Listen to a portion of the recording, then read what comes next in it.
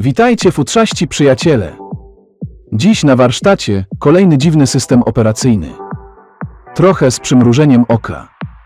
Ubuntu Fairy Remix to wyjątkowy system operacyjny stworzony z myślą o społeczności Ferris. Charakteryzuje się futrzastym motywem graficznym oraz bogatym zestawem narzędzi artystycznych, tworząc kompleksowe środowisko dla twórców. Ten system stanowi muzyczny remix Ubuntu, najpopularniejszej dystrybucji systemu Linux, co przekłada się na fascynujące efekty wizualne, szybką wydajność, niezawodność i bezpieczeństwo. Instalacja systemu to nic trudnego. Po wystartowaniu komputera z płyty DVD wita nas graficzny instalator. Wybieramy tu język, strefę czasową, klawiaturę i dysk, gdzie będziemy instalować Ubuntu. Ustawimy też nazwę użytkownika i hasło.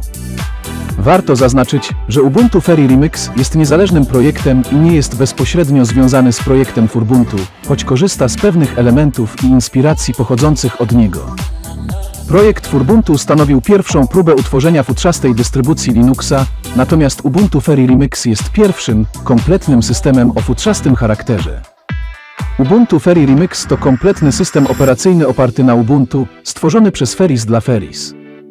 Zawiera wiele wartościowych elementów, takich jak specjalne motywy graficzne, oprogramowanie dedykowane artystom oraz narzędzia do tworzenia grafiki.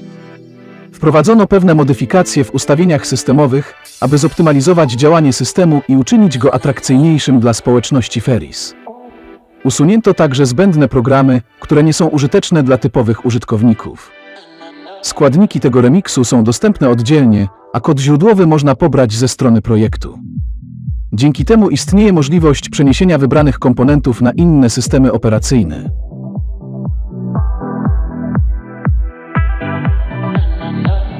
Dobrze, system mam już zainstalowany. Jak zwykle nie działa dźwięk. Język polski też jest w praktyce niedziałający.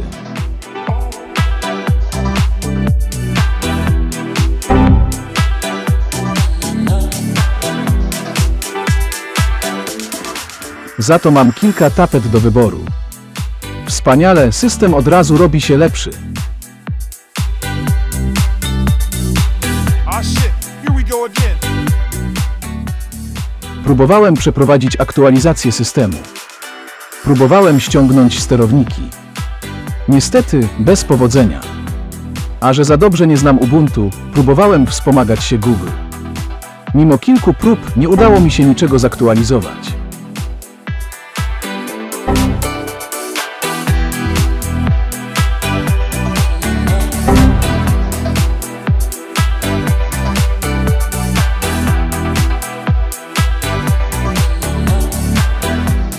Zdaje się, że spotkanie z Ubuntu zakończy się szybciej niż się zaczęło.